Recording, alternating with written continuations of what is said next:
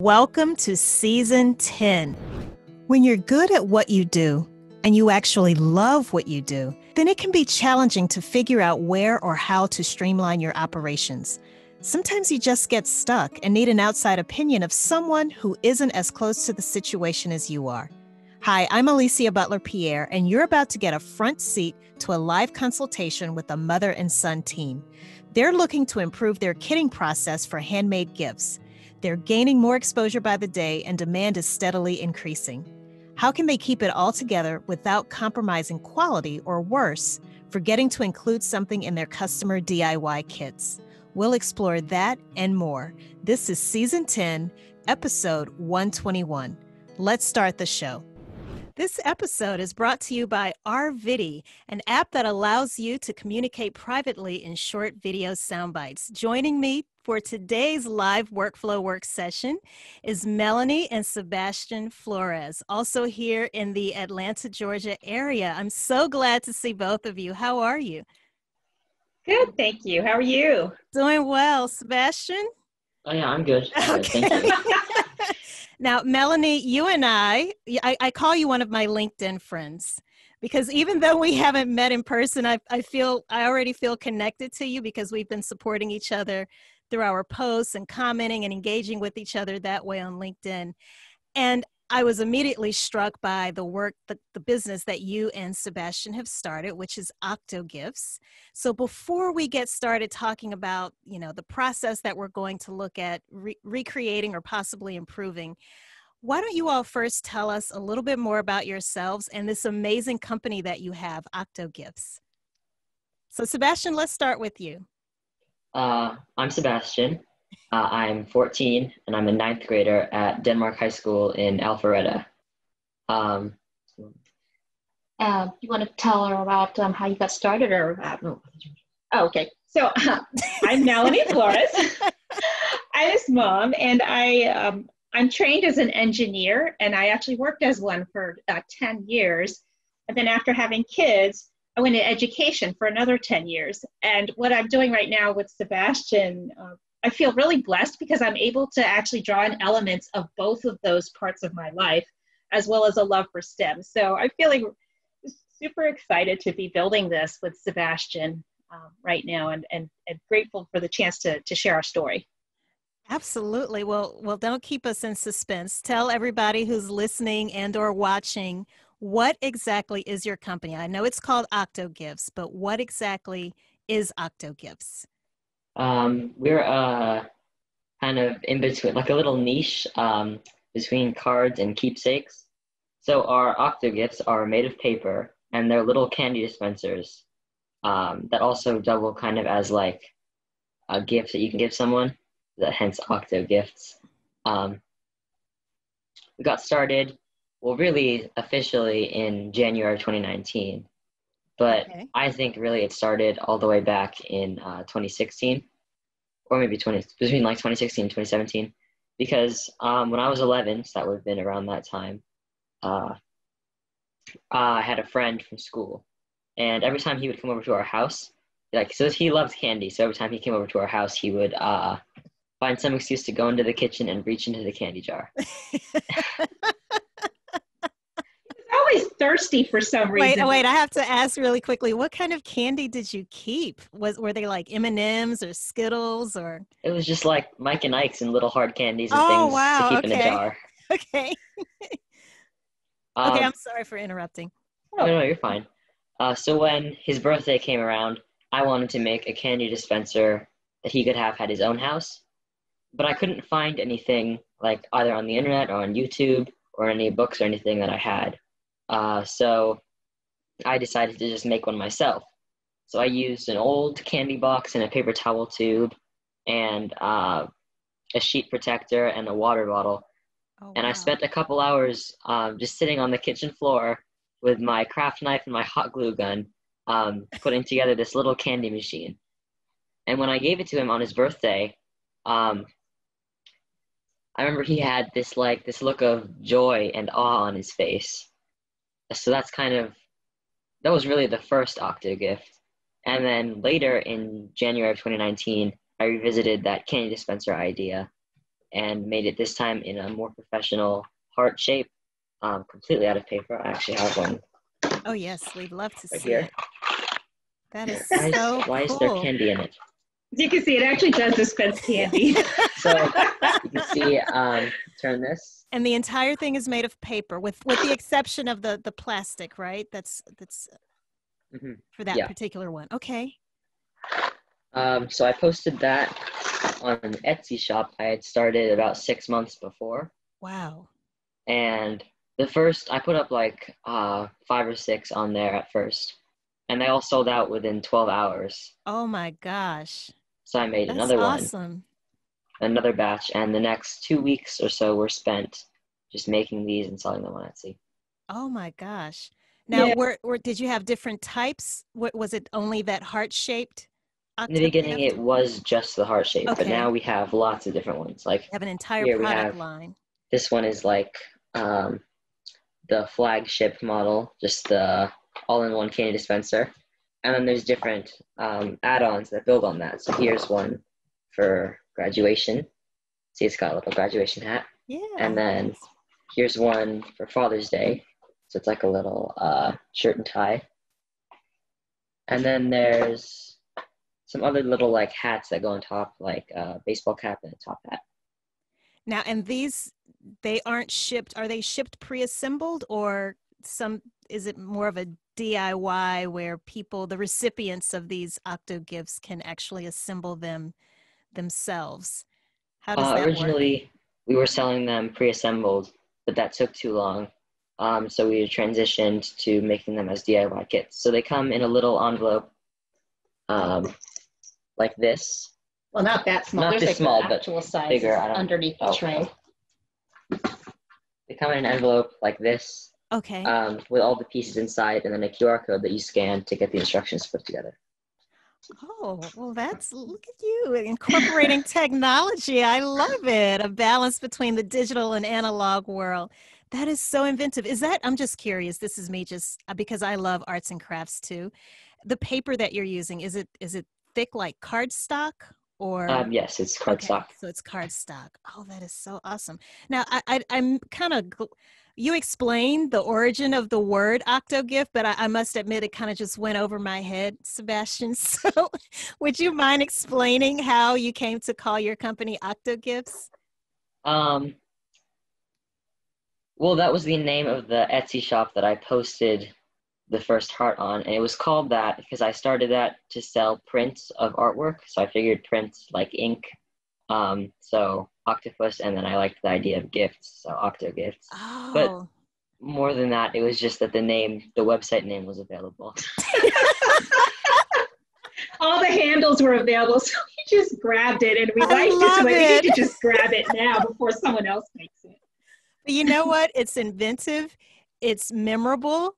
And to your point, um, and thank you for being so candid about that. It was available as a as a URL, um, and that that that makes all the difference in the world, right? These days. So, so that is great. Um, before we, well, actually, before I, before I even get into talking about the process that we're here to to talk about today during this session, Melanie, I know during a previous conversation you mentioned that you all have have recently been approached in some new and inventive ways about leveraging Octo Gifts as a team building exercise.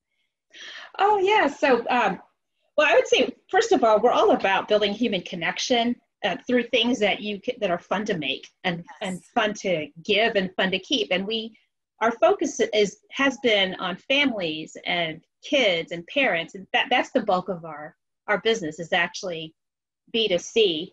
But recently, we've had people approach us because of the pandemic. People are starting to feel disassociated from each other, kind of remote and isolated. And so the suggestion was made why don't you make those team building kits? Because they're easy. Obviously, a child can make them. So this is something maybe adults can do um, together, whether on a Zoom call or in person. So um, we actually did create a team building package, and it's on our website. But we we uh, we landed our first um, team building order just recently, and Yay! yeah, we're we're That's excited. awesome. Yeah, we're so grateful. The, um, the person who who ordered it said it was a success, and he said that everybody uh, participated either by watching and just uh, and providing support or uh, uh, or building it themselves. But there definitely is an intergenerational appeal with these.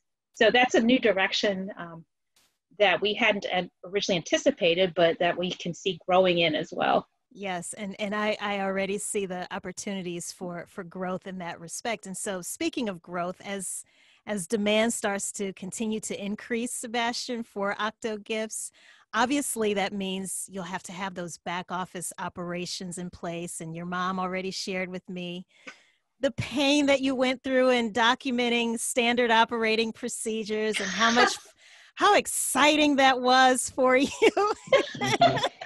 I, I had to pay. offer it. Like, was any like, bribery involved, Melanie? I wonder. Do you think that was considered bribery? compensation. and it's kind of hard to get a teenage a teenage boy to get excited about writing an SOP. but I tell you, I promise you, Sebastian, it will be so worth it because again, as you as you continue growing and you have to start hiring people to help you, you don't want to you want to make sure that quality isn't compromised. You want to make sure that whether you package something your mom packages something your brother or someone else that you may hire that they're going to produce that is going to be produced at the same quality consistently as if you were to do it. Mm-hmm. does that make sense? So i know it's painful but I, I promise you it is it is so worth it. So speaking of processes melanie we use the rvidi app to communicate about a process that you wanted to examine here on the podcast. So let's go ahead and take a, a listen to that video. Hi, I'm Melanie Flores, and my 14 year old son Sebastian and I co founded OctoGifts.com. We build joy and human connection through 3D greeting cards and keepsakes that are fun to make, fun to build, and fun to keep. They actually double as candy dispensers, so here's an example of one of our products. This is um, full of beads right now, but it actually can accommodate smooth round candies, and this particular machine happens to have a baseball cap shaped lid. The process I would love to discuss with Alicia is the process by which we make these DIY kits.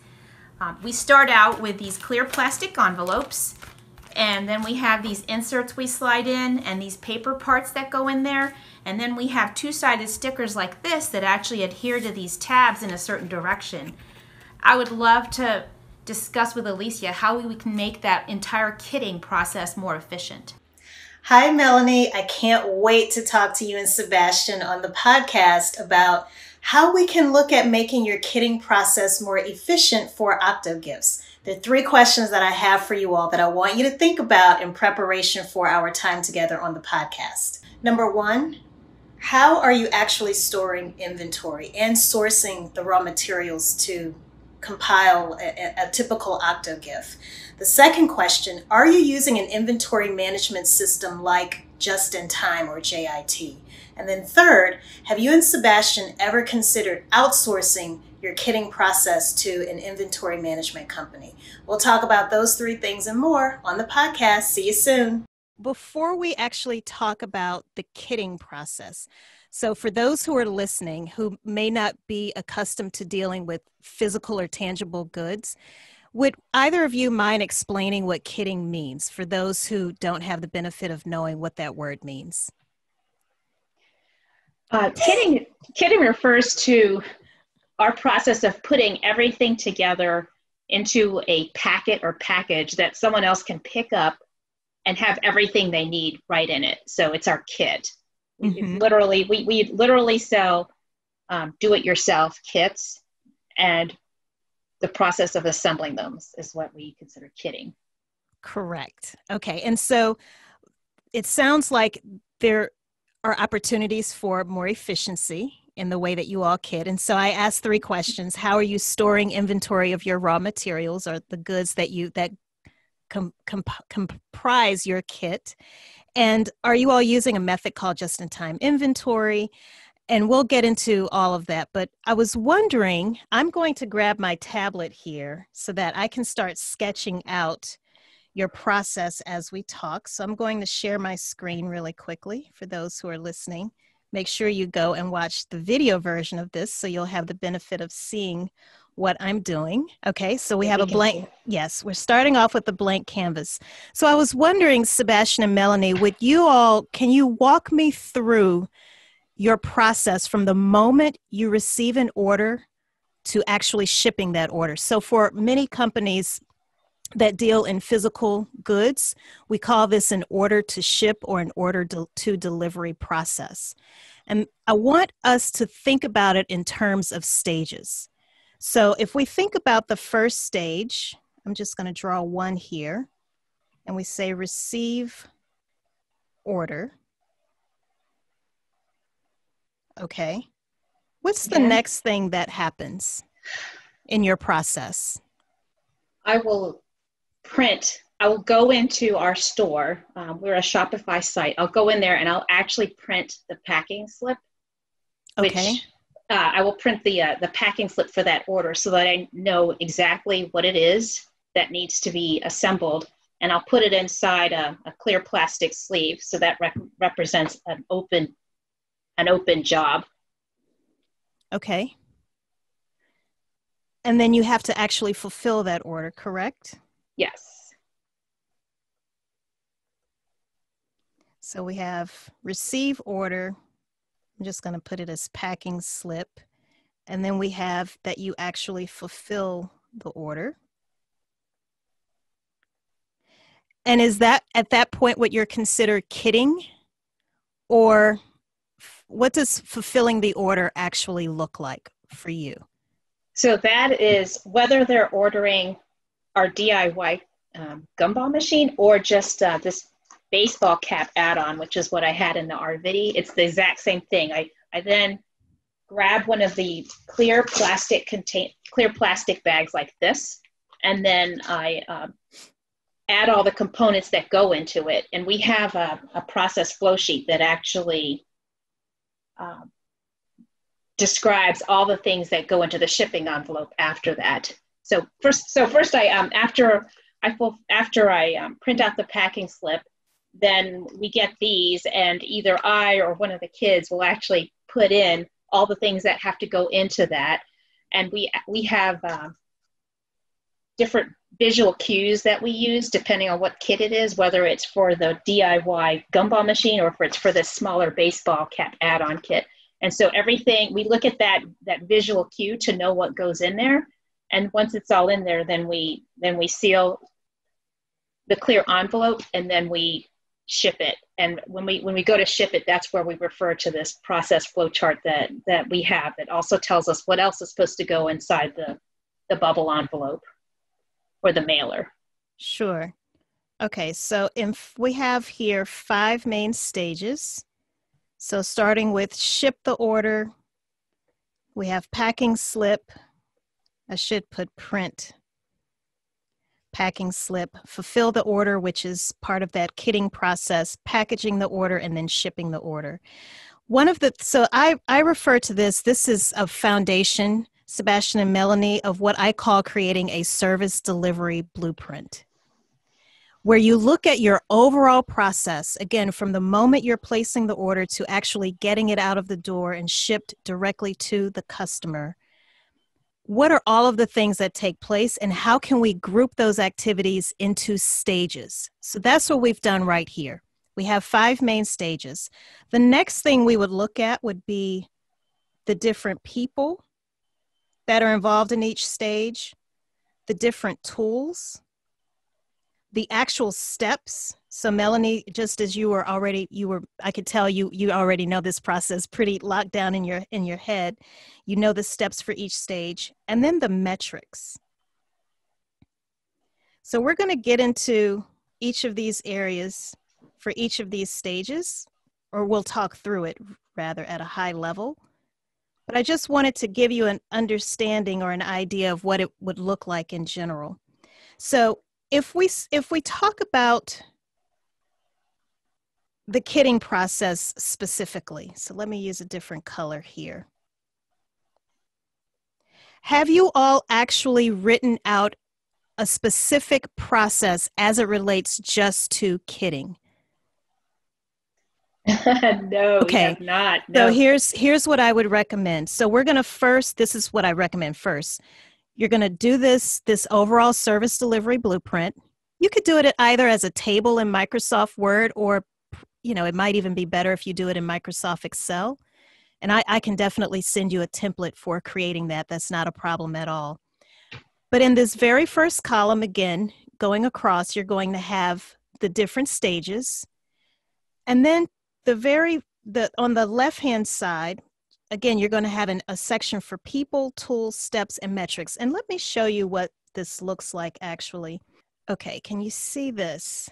This yes. is these are stages. This this example comes from a chapter in my book where it's a real estate company and these are the different stages of their overall process. So from the moment a person says, I need, I, I found a perfect home, now I need to apply for a mortgage. This this is the overall process that this mortgage company takes goes through. Okay, so you can see they have, let's see, one, two, whoops, sorry about that. One, two, three, four, five, six, seven stages. Mm-hmm. Let me just hide that there. But if we go here to the next one, this is what that service delivery blueprint is going to look like, Sebastian, once you all fill it out. So if you look across at that very first row, you see pro- the prospecting stage, the pre qualification stage, and the pricing stage. And then you notice on the far left, we have the the people which are also you know aka the required resources. So who are all of the people that are needed? Specifically as it relates to prospecting. What are all of the tools that are needed specifically as it relates to prospecting? What are the steps at a very high level that take place in that particular prospecting stage? And then lastly what are the metrics? Do you know what i mean when i say metrics sebastian um, no. oh, well, that's great. So let's talk about that. So metrics basically means, and let me just pull up, I'm going to pull up your service delivery blueprint here for Octo Gifts. So for metrics, metrics in your case would literally mean how much time is it taking in each of these stages. So from the moment you receive an order approximately how long does it take before you get to that next stage of actually printing the packing slip? These are the types of things that you can start measuring, Sebastian, so that you can figure out how you can get even better, how you'll be able to start to process more orders in a shorter period of time. Is it possible for you to leverage some type of automation? Is it some type of new technology? Is it some type of machinery? Does it mean more people? Whatever it you can do to actually get that number. In your case, I would imagine people would want a relatively quick turnaround from the moment they place their order to the, the moment that they actually receive their order, right? Mm. Um, so in this case, if we look at the fulfill order stage, which is the kitting process, we would figure out who are all of the people that are needed in order to fulfill an order. Okay, so just think about that. What are all of the tools that you need? So, one of the questions that I had when I submitted my video response to you, Melanie, is how are you all storing the materials, the raw materials that are necessary that go into the, the actual kit? So currently everything, these kits are like 95% paper and mm-hmm. we keep all of the paper stored by color in um, there's an area of our basement that's um, that's basically our production area and it's all sorted there um, the the uh, the gumball machines, all of our kits, and they come in different colors, so we do have it sorted by color. Okay. But um, most of it is white because um, the, the internals of every card they're all white. It's just the the the color just comes in the outside for most of our product. Okay, so that's great. So you do have your your basement slash production area, which is yeah. great. Um, and so I'm assuming everything is labeled. Yes. So that everything is, is labeled. Okay, so that you can get to it fairly quickly. And again, if you had to bring in some of Sebastian's friends to help out, they would they would know and understand how to access the information. The other thing is whoops, my, my surface here went out uh, a bit. The other thing is um, from a just in time inventory management perspective. Are you familiar with that by any chance? I have heard of it. I, I am familiar with it, but we don't use it for our, our business yet. Um, okay. Or I guess if we do, it's, it's it's the raw organic kind, which is we get the order and we fill it just in time. So, so what it means uh, for both of you, it basically means that you order materials, your raw materials, in your case, the paper, literally as it's needed. So, what happens oftentimes is what's called a, it, it promotes the use of what's called a Kanban. Have you heard of that? K A N B A N? I've heard of that, but I'm not that familiar with it. Okay, so what that basically means, and it's a Japanese term, uh, this all comes from the Lean and Six Sigma methodologies. And I know mm-hmm. you all, well, Melanie, I know you know what that is. I'll, I'll explain what that means also, Sebastian. So, Lean and Lean Six Sigma are basically methodologies to help you in your production process. So, Lean is all about figuring out where you can reduce waste wasteful time, wasteful motion, uh, wasteful activities, for example. Six Sigma is about ensuring that you rid your process, your production process, of defects and errors. So Six Sigma says every single octo gift that leaves our production facility needs to have zero defects. One, the slightest defect is unacceptable.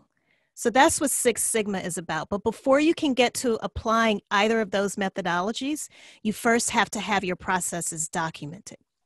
And that's what messes up a lot of people. So if we think back to your, again, your service delivery blueprint, and you had those different stages, those five main stages, if we focus again on just that kitting piece, I would want you to actually map out what that process looks like. And here's what's powerful about mapping a process and as opposed to i'm trying to sign back in here. Give me a moment. I'm trying to sign back into my tablet. It went out on me. Give me just a second. Okay. Technology is great when it works right? Um,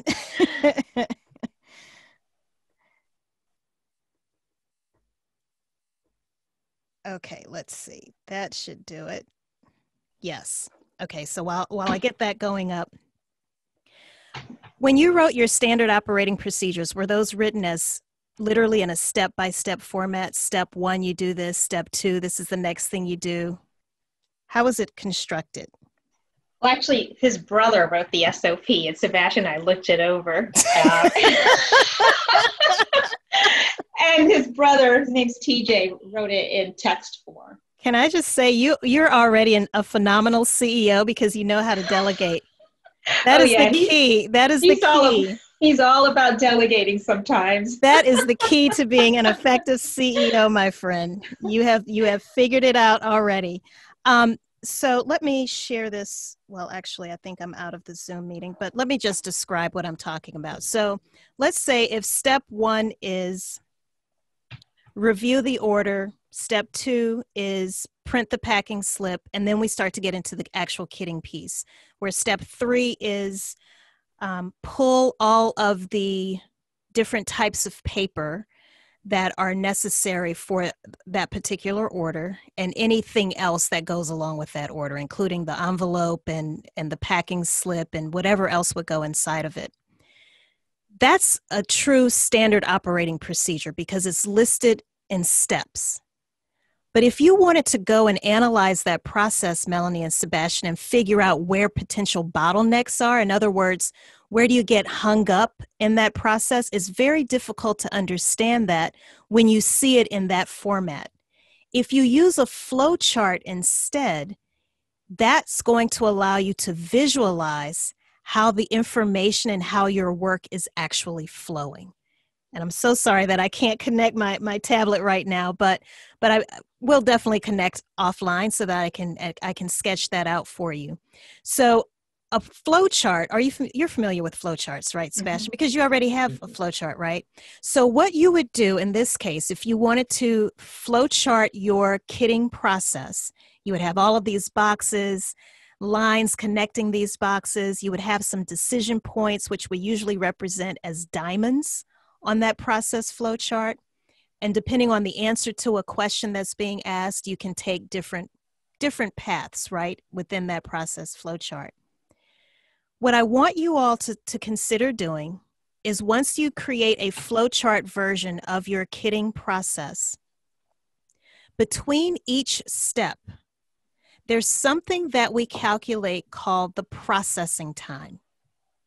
I'm sorry the wait time how much time lapses between that first step and the second step. That's what we would call the wait time. Then you would look at what's the wait time between steps two and three, between steps three and four, so forth and so on. For each step individually, we have we calculate what's called a processing time. So for step one, how long on average does it take to perform that very first step? And underneath that box on your flow chart, you would literally write in Six Sigma, we would do it this way PT equals X. So processing time equals 10 minutes. Processing time equals one hour. Processing time equals one day. Whatever that unit of measurement, that unit of time measurement actually is, you would just write that out onto your flow chart. And then once you've analyzed how much time it takes between each step, as well as how much time each individual step takes, you would then be in a position to calculate what's called the cycle time. So if you can imagine an equation, it would be CT equals PT plus WT. So cycle time equals processing time plus the wait time. Now, Sebastian and Melanie, you may look at what your overall cycle time is just for kitting, and you it may be I don't know what's what's a what's a, a best guess. Let's just say 20 minutes. Okay, 20 minutes. Well, you all may say, you know what, these orders are starting to come in fast and furious. We've got to get this down by another 50%. We need to get this down from 20 minutes to 10 minutes. How can we do that? Where can we go into this process? What's taking the longest time? So I, even though I'm, I'm, I'm unable to draw this right now, I'm hoping you can at least visualize why it's so much powerful to see a process in a flowchart format as opposed to being in a standard operating procedure.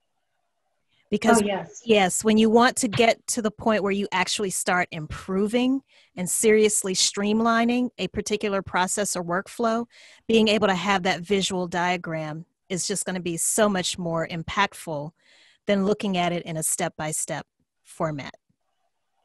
Gotcha. Okay. Now, with just in time, so getting back to what Kanban is, Kanban says, Kanban, I believe, is Japanese for signal, I believe, or cue. So the, the whole concept of this and the way this was introduced into, into the Lean Six Sigma framework, and, and Lean, by the way, comes out of Toyota, Six Sigma comes from Motorola.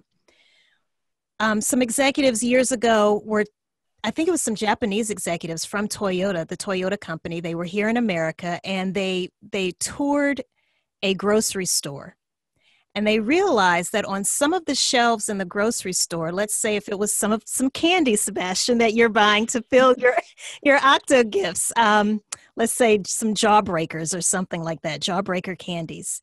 And they would notice that sometimes you they would see a tiny little colorful card in between two boxes of jar breakers and they said well i'm noticing these these different colored cards like index cards that were different colors what the heck is this oh this is like a kanban this is our way of of knowing when it's time to start ordering more jawbreakers so for you and that's where just in time comes in. You don't just keep ordering inventory or materials in bulk because that can become expensive and you're just sitting on that inventory most of the time. Just in time says, let's, from an inventory management perspective, just order what you need when you need it. So, for you, what you could possibly do is go back into your production facility in your basement and you could create some type of, I don't know, it might be even just be a post it note, different colored post it notes. And you may decide when this particular stash of red cardstock gets to where we only have 20 sheets left, that's our visual cue to know that we need to go and order more. And you probably have to allow for even more shipping time now for your raw materials because of what's going on with the pandemic. I would imagine. Have, have you all run into that as an issue lately? Is it taking longer for certain things to arrive? Some things. Most things are still arriving quickly, but we have noticed um, some things taking longer than what I remember in the past. Mm-hmm. And that way, it's when you set up this Kanban, it's you're almost on autopilot you don't have to keep reminding yourself. You have these visual cues that serve as that reminder for you. Does that make sense? Yeah, mm-hmm. yeah, makes sense. Yeah.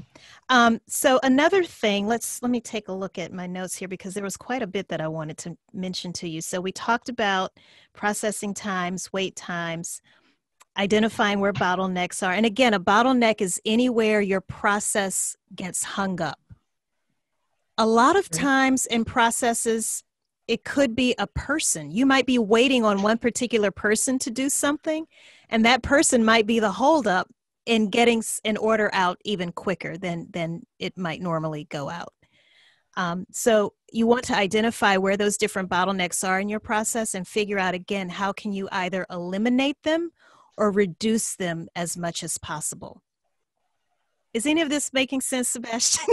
mm-hmm. Yeah. He's just looking like, ah. now, we've talked about process, right? And and which is definitely a key component of business infrastructure. But for those who are listening or watching for the first time and they don't know what business infrastructure is, let's let's just kind of define that. So, business infrastructure is a system for how you link your people, your processes and your tools so that growth happens in a sustainable and profitable way. So again, we've we've we've talked again at a very high level about that process. So we started off talking about creating that service delivery blueprint and then looking at each stage individually capturing those processes, then figuring out how you can flowchart it so that you can streamline it even more. But let's talk about the people aspect. So, Melanie, are you the assistant? Is that safe to, to, to say? Or uh, is Sebastian the CEO? What, what's going on here? it d- depends on what the topic is. I would, I would say I would say he's like the chief creative officer. He comes okay. up with all the ideas and he delegates to me all of the boring adult stuff. So pretty much everything that relates to the taxes, the marketing, all of the paperwork, um, I do it and I, I, I expose him to it.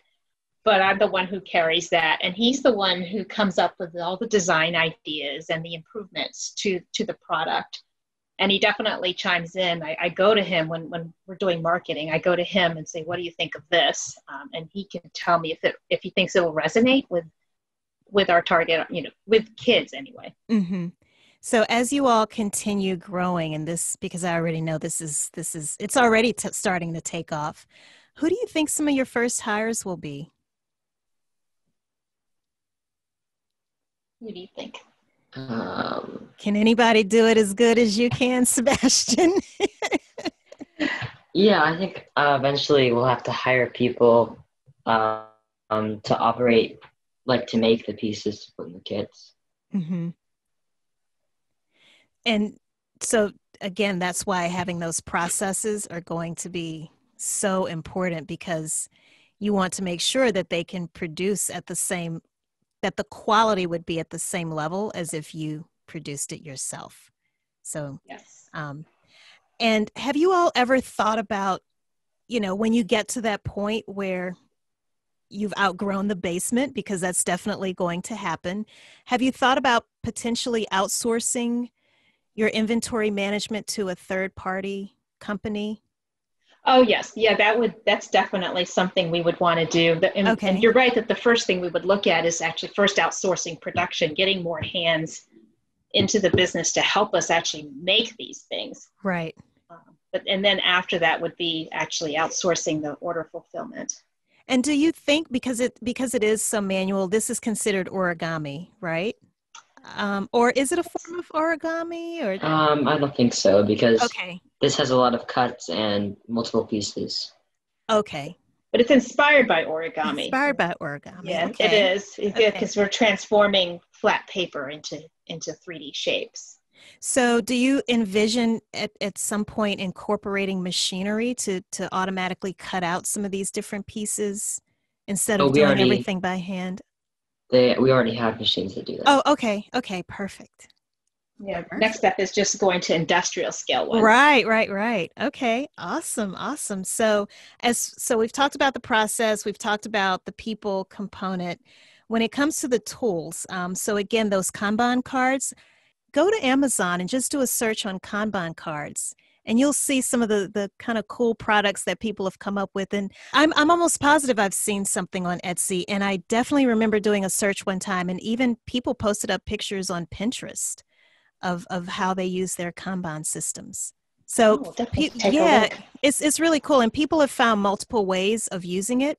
But again, it's it's anything that you can do to serve as a, a visual reminder, and so usually having bright colored post-it notes or even pieces of card or, or index cards, card stock, um, usually helps in, in that sense. Um, we've already talked about your production area. I know that you have that already organized, Melanie. My label maker was very busy. but I wanted to mention something else. I know that you all don't need convincing about the the value of operations and processes and procedures and having systems in place, but are you familiar with the E Myth? This book, the E Myth Revisited. I am not. Really? Yeah. Get on Am- Amazon. So the E stands for entrepreneur. It's by Michael Gerber. I always send people here whenever they don't think that operations are worth the time, effort, and energy. And the reason is because, um, so the E stands for entrepreneur. And the myth, according to Michael Gerber, and I definitely agree with him, is that most people, when they when they start their businesses, let's say if you're really good at making widgets, and you say, well, you know what? I either got laid off from my widget making company or I just quit my, my job at, at widget making company ABC. I'm going to start my own company making widgets because I'm really good at it. And all you've done, in essence, is you've created another glorified job for yourself. So he's saying the myth is that most of us who start our businesses because we're good at what at a particular craft, in this case, literally crafts, we think that we can start a business, but most of us lack the vision that's needed by a true entrepreneur and the managerial perspective that's needed by people who are very good at making sure all of the systems are in place, the processes, the procedure, all of the I's are dotted, the T's are crossed. So he says there really takes it really takes three different personality types to run a business, a successful small business. You have to have the entrepreneur, who's the visionary, the manager, like yourself, Melanie, who makes sure all of the processes and the procedures are getting taken care of. But you do still also need the technician. And those are the people who, those are the widget makers. Those are your developers, your coders, your programmers, your, your designers, the people who are actually doing the work. So I think it's it would be really great if you could could get that book. Um, I'm also going to plug my book, which is called Behind the Facade How to Structure Company Operations for Sustainable Success. It literally spells out a framework for how you create things like that service delivery blueprint and your your different processes and procedures. The last book that I want to tell you all about, it's called The Toyota Way, and I can promise you Sebastian will not read this. It is not a it is not a bedtime story, okay? but if you are interested in learning more about lean, you're you're gonna love this book. So it's um, by Dr. Jeffrey Liker, and he spent over 20 years studying Toyota. He talks about Kanban among many other principles in this book. So if you want to learn more about it, and I, I personally find it very helpful to read about what other companies do and then try to figure out how you can apply those same principles and techniques to your company, even though you might be in completely different industries. You know, here we're talking about an automobile. For you, we're talking about OctoGifts which is, uh, you know, as Sebastian said, a cross between a, a gift card and, and a keepsake. So I just find it very helpful. And you can learn, again, even more about the Kanban system as well as just in time inventory management. Great. Yeah. those, are, those sound like some good books to check out. Any questions? Um, you have any questions, Sebastian? No, I think you covered everything. Yeah. Okay. What about flow charting? Are you comfortable with? Well, it sounds like you already have some flow charts that you you all are leveraging. What tool are you using to create those? I'm actually using PowerPoint right now. Oh, There's that's probably that's a better tool, or is there? Well, I use Visio. Visio. I use Visio, but um, I know some people, you know, unless they do unless they do a substantial amount of flow charting, they they don't they say Visio isn't worth the learning curve, but for me, I, I definitely prefer to use Visio, but Microsoft PowerPoint is great also. I do actually have a question for you. Um, okay.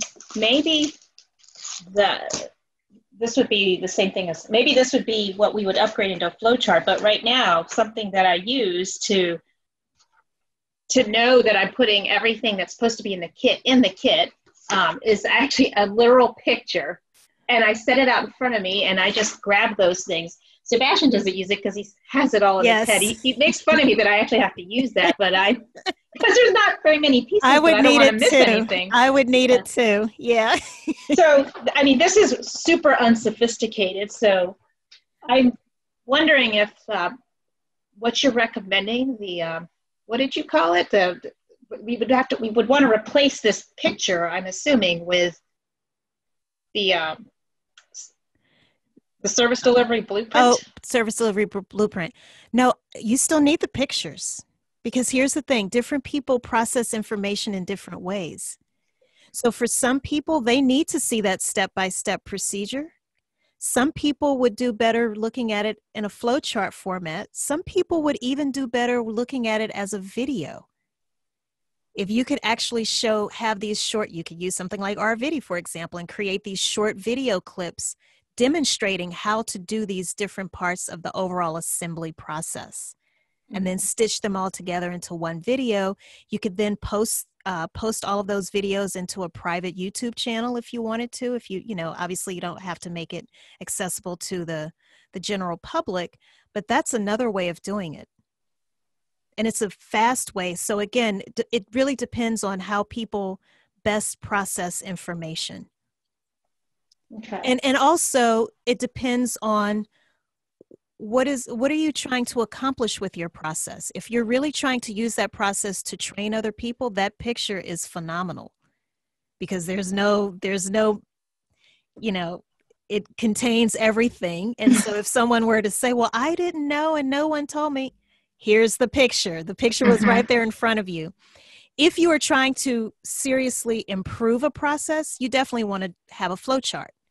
So it really depends on what is the objective that you're trying to accomplish with each process that you capture. Are you trying to train someone? Are you trying to get it documented so that you can eventually sell OctoGifts? If someone were to make you an offer, you would have to have everything documented, you know, to to the most minute detail so that someone else could pick it up buy it and and just hit the ground running or again if you want to make sure that you improve the process you can you can flow chart it out. So there's multiple ways. Um, there's also a different type of way and i talk about this a lot in my book.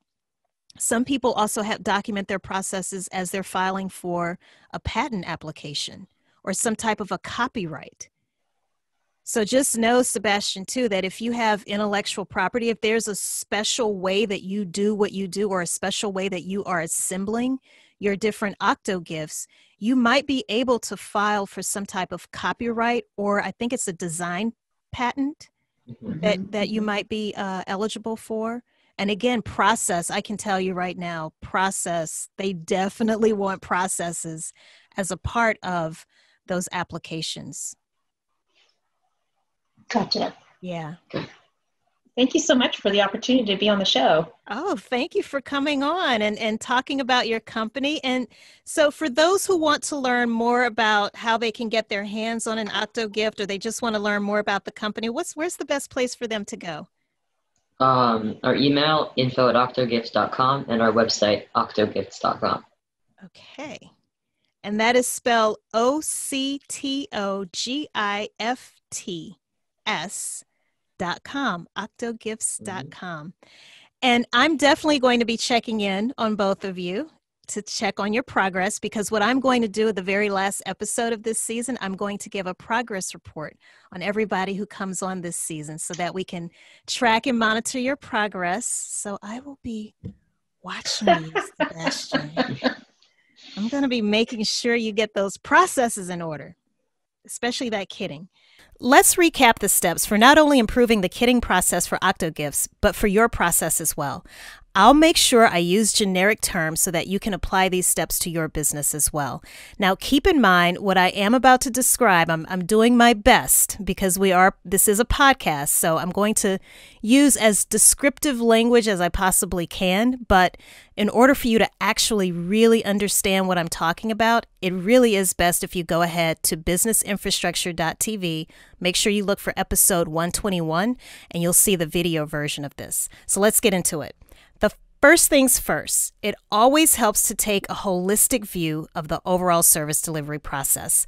In the case of OctoGifts, this requires capturing all of their steps from order to delivery.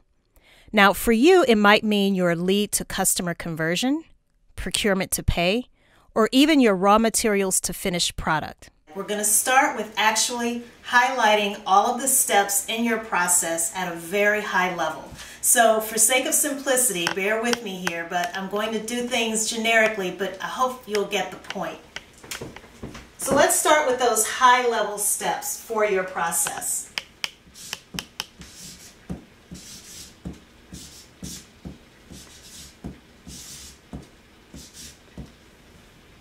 And let's say you actually write out those steps.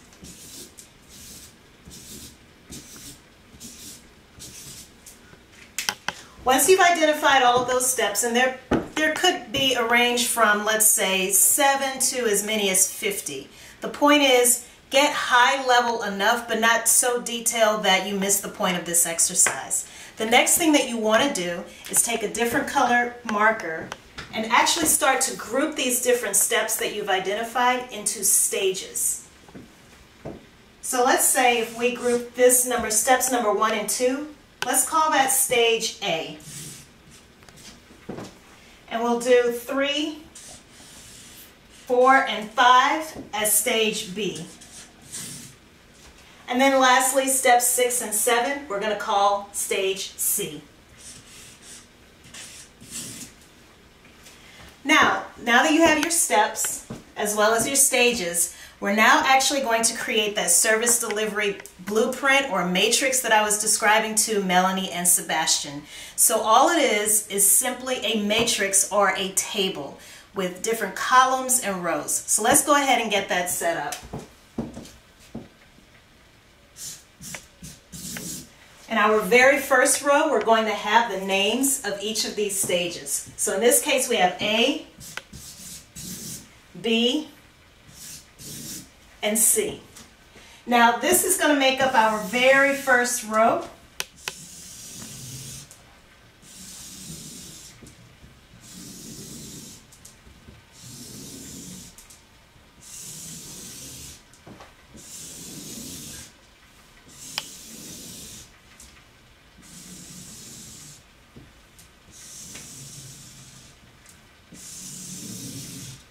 See, now we have our table.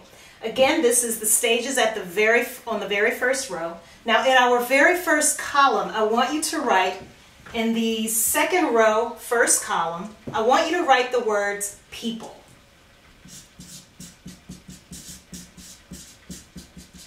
Underneath that, you're going to write tools. And then underneath tools, you're going to write steps. And then lastly, in our very last row, we have metrics.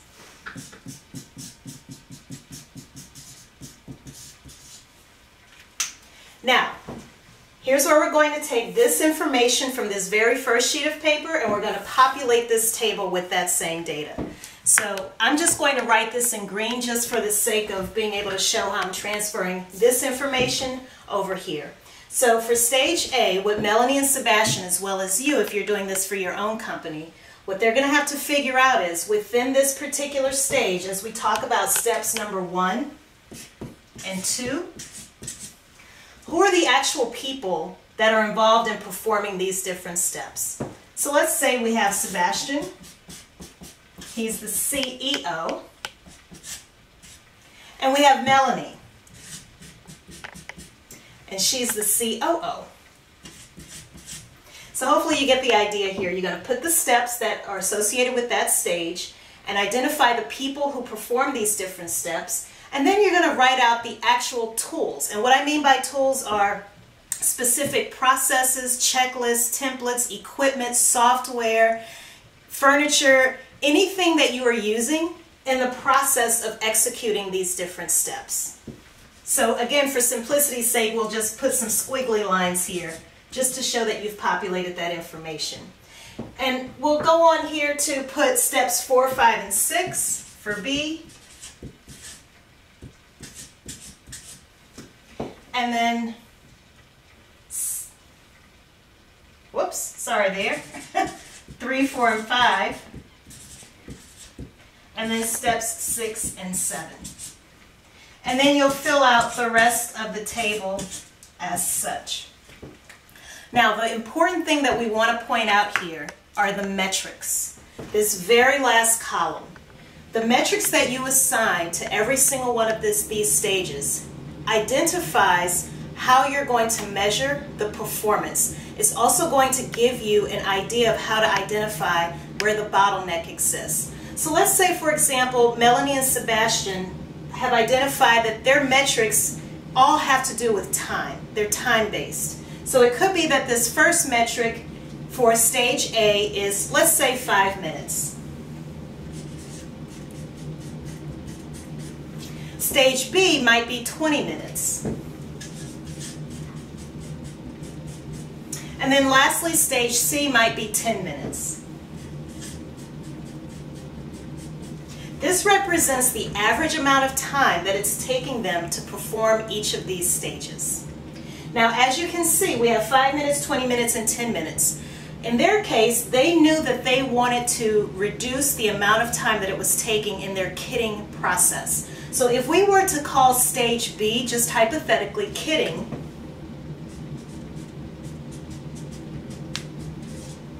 this is the stage that they want to focus on. And their goal might be to get this from 20 minutes down to 10 minutes, which would which, which would, excuse me, significant, significantly decrease the overall amount of time that it takes to progress through all of these different stages. So now let's take a closer look at this stage, stage B, and we're going to go to this final sheet of paper here. We're going to take steps three, four, and five. Excuse me, I made a mistake here earlier. And we're going to start to draw a process map. And this is where you can start to get more detailed with the information that you provide and everything that's going on within this particular stage.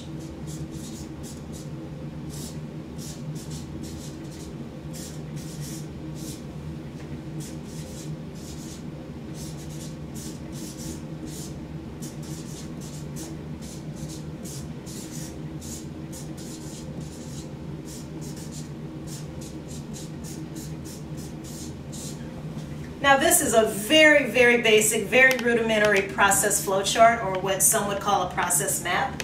But what we've done is we've said this is stage B, steps three, four, and five, and we're putting it in the format of a flowchart. The reason this is important is because it's going to help you single out where the opportunities to streamline this process may or may not exist. So let's take a different color marker here. There are two things that I want you to focus on when you get to this stage. That's processing time.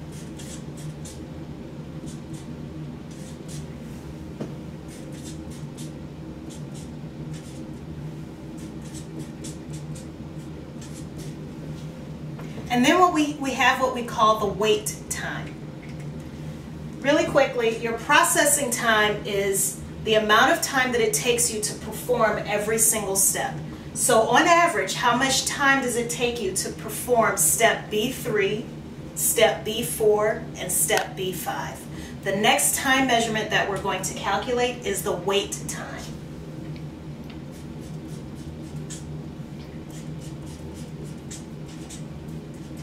So we've called this wait time one and wait time two. The wait time is the um, average amount of time that it that passes before going from the end of step B3 to the beginning of step B4, from the end of step B4 to the beginning of step B5. Why does all of this matter? Because it's going to help you figure out where you can pinpoint exactly where an issue is causing the overall process to slow down. The next measurement that you're going to calculate is what's called your process's cycle time.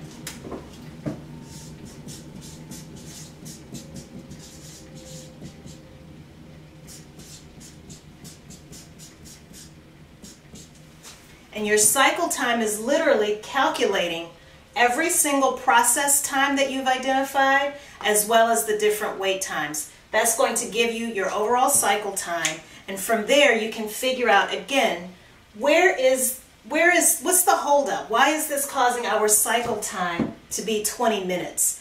Is there a way we can get it down to 10 minutes? And it could be that as you analyze what's really going on within each of these steps, that you then figure out maybe there are additional people that we can hire. Maybe there's additional technologies that we can invest in, equipment that we can upgrade to, so forth and so on. What is it that's going to allow you to get that processing time and maybe even the wait time down as much as possible? That's what's going to help a company like OctoGifts with Melanie and Sebastian figure out how they can reduce their kitting process without slowing down their overall order to delivery process. Don't you just love the imaginations of children and young adults? This session with Sebastian gives me hope that our collective future is in good hands. And kudos to Melanie for supporting her son with the resources to bring his ideas into fruition. I wonder what's in store for them. What do you think? My guess is that they'll soon outgrow their basement. How soon do you think they'll have to outsource their kitting as well as their inventory management processes altogether? The best way to find out is by making sure you subscribe to the podcast and to our YouTube channel at businessinfrastructure.tv. When you do so, you'll receive a notification when the last episode of this season premieres, and that's where I'll give an update on their progress. In fact, you can even request your own private one on one consultation with me. We'll also have links to all of the resources mentioned during this episode in the show notes. Again, all of this is available at businessinfrastructure.tv. As always, thank you so much for tuning in and for being a loyal subscriber. Remember, stay focused, be encouraged. This entrepreneurial journey is a marathon and not a sprint. Until the next time. For those of you who are listening and or watching, again, the best way to contact them is info at octogifts.com. And their website, one more time, is octogifts.com. Melanie, Sebastian, thank you so much. I really appreciate your time. And I really do wish all of the best for you because you have an amazing product, a very creative mind, and you will go very, very, very far. I'm sure of it. Thank you. You're Thanks, welcome. Alicia. Thank you.